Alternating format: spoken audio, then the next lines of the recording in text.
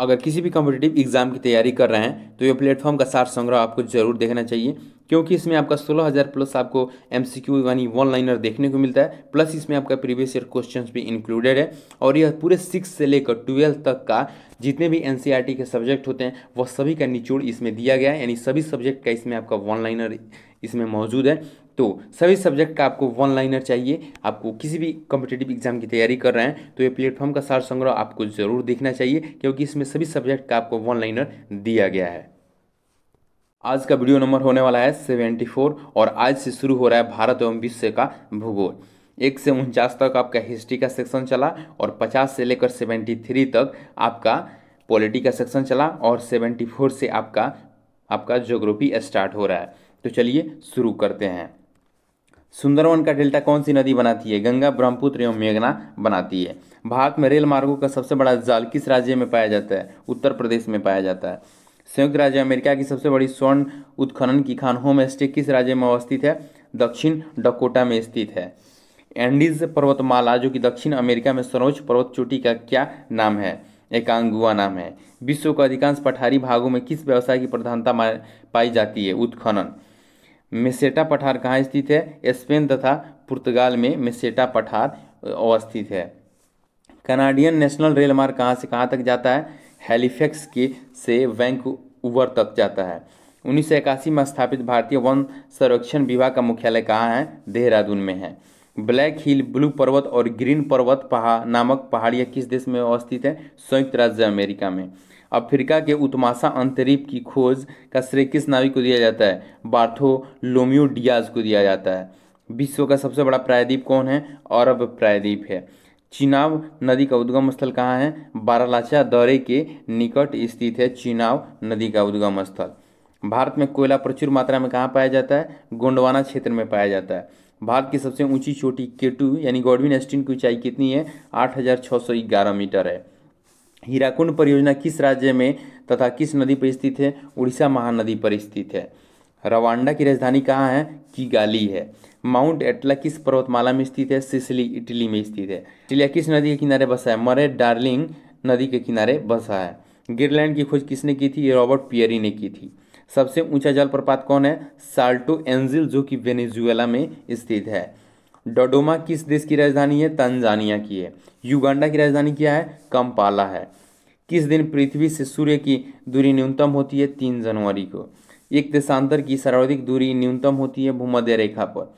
दौड़ता चालीसा क्या है? दक्षिणी गोलार्ध में 40 डिग्री अक्षांश के पास का स्थान जहाँ तेज पछुआ पवन चलती है। माओरी जनजाति का निवास कहाँ है? न्यूजीलैंड में है। तुंगभद्रा तथा भीमा नदियाँ किस नदी की सहायक नदियाँ है? कृष्णा नदी की। छोटा नागपुर पठार की सबसे ऊँची चोटी कौन सी है? पारसनाथ है। भारत की सबसे बड़ी नहर परियोजना कौन सी है? इंदिरा गांधी नहर परियोजना है। भागड़ा नंगल परियोजना में मानव निर्मित झील को किस नाम से जाना जाता है? गोविंद सागर नाम से जाना जाता है। किस ग्रह को लाल तारा की संज्ञा दी गई है? मंगल ग्रह को दी गई है। उत्तरी अमेरिका में स्थित माउंट मैकिले किस पर्वत की चोटी है? रॉकीज पर्वत की चोटी है। यह वीडियो सीरीज़ आप सभी को कैसा लग रहा है? हमें कमेंट करके ज़रूर बताइए। नीदरलैंड में समुद्र के लिए भूभाग को किस नाम से जाना जाता है? पोल्डर के नाम से जाना जाता है। लंदन किस नदी के तट पर स्थित है? टेम्स नदी के तट पर स्थित है। भारत की सर्वाधिक गहरी खा, खान कौन सी है? कोलार की खान। भारतीय अंतरिक्ष शोध संस्थान इसरो कहाँ स्थित है? बेंगलोर में स्थित है। किस देश के घास को मैदान को पंपास कहते हैं? अर्जेंटीना के। देश में मौसम मानचित्र बनाने का प्रमुख कार्यालय किस नगर में स्थित है? पुणे में स्थित है। मचकुंड जल विद्युत परियोजना किन राज्यों का संयुक्त उपक्रम है? उड़ीसा और आंध्र प्रदेश का संयुक्त उपक्रम है। उत्तर प्रदेश हिमालय का सर्वोच्च शिखर है। नंदा देवी सर्वोच्च शिखर है। भारत का सर्वाधिक नगरीकृत राज्य कौन सा है? महाराष्ट्र है। ब्लैक हिल पर, बोलू पर्वत तथा ग्रीन पर्वत नामक पहाड़ियाँ किस देश में स्थित है? अमेरिका में स्थित है। बृहद ज्वार उस समय आता है जब पृथ्वी, चंद्रमा और सूर्य एक सीधी रेखा में होते हैं। दक्षिणी अमेरिका का कौन सा देश क्षेत्रफल की दृष्टि से सबसे बड़ा है? ब्राज़ील है। मंगल और बृहस्पति की कक्षाओं के बीच सूर्य के चारों ओर परिक्रमा करने वाले सेल के छोटे टुकड़ों के समूह को क्या कहते हैं? क्षुद्र ग्रह कहते हैं। अलमाटी बाँध किस नदी पर है? कृष्णा नदी पर अलमाटी बाँध स्थित है। जवाहर सागर प्रताप राणा प्रताप सागर और गांधी सागर जलाशयों का निर्माण किस नदी पर किया गया है? चंबल नदी पर किया गया है। जो जिला द्वारा किन किन जगहों को जोड़ता है? लेह और श्रीनगर को जोड़ता है। एक्सकीमो लोगों द्वारा टुंड्रा क्षेत्र में बर्फ़ की सहायता से बनाए गए अर्धगोलाकार आवासों को क्या कहा जाता है? इग्लू कहा जाता है। नदियों के ज्वार मुंदन में कीचड़ वाले किनारों के साथ साथ हल्की हल्की जैतून की रंग की वनस्पति और शोषण मूल वाले ज्वारीय वन को क्या कहा जाता है? परावा, गराव यानी मैग्रोव कहा जाता है। बुम्ब कूप कहाँ पाए जाते हैं? और शादी सैलों में पाए जाते हैं। हुवर बाँध किस नदी बनाया गया है? कोलोरेडो पर पाया गया है।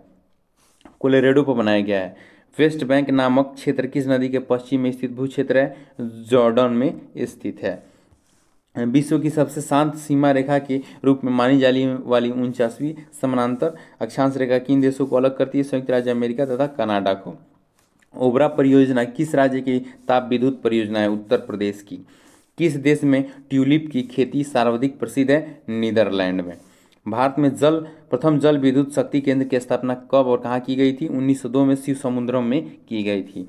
भैंसा सिंगी नामक जनजाति भारत के किस राज्य में पाई जाती है? नागालैंड में पाई जाती है।